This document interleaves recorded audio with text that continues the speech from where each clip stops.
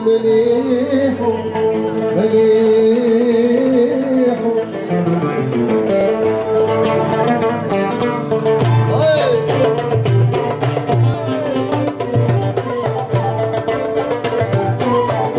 How should a, a Singaporean Arab see himself? He should see himself as a Singaporean. He's part of the Singapore culture.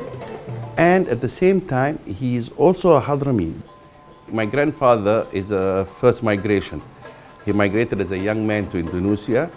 He stayed for a number of years in Indonesia. He, he actually accumulated his wealth in Indonesia and he came Singapore towards late 1800, early 1900, the turn of the century.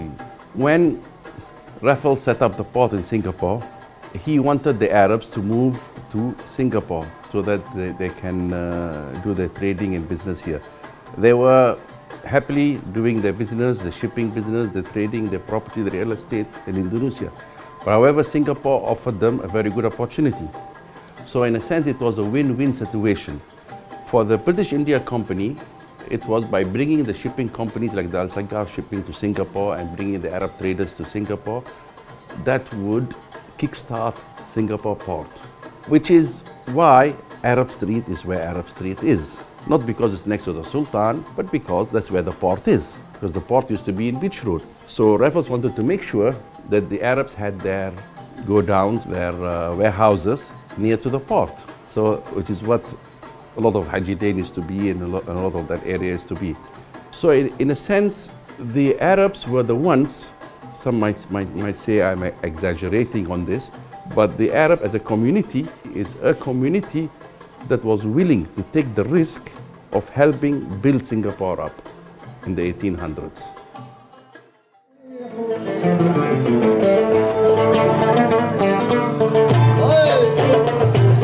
Any person who adopts a foreign culture, he becomes one of them.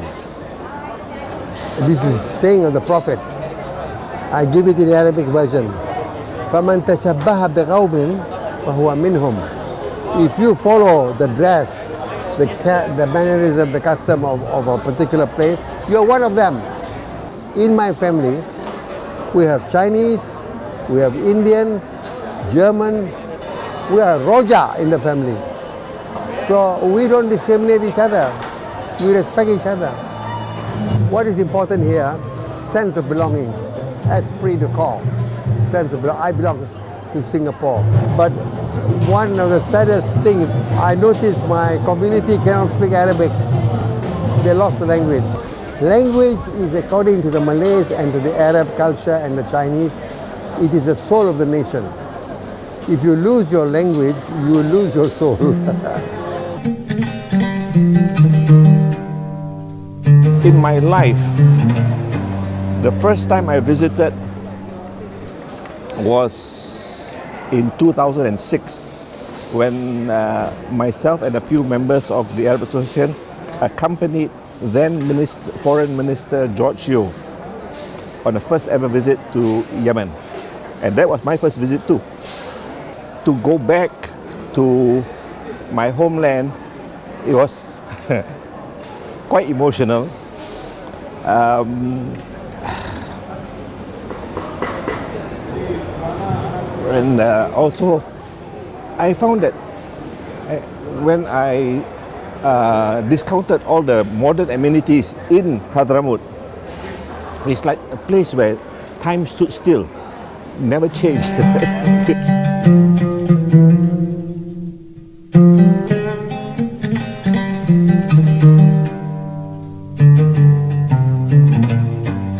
It's very important to know where you come from. It's very important to be proud actually of your heritage.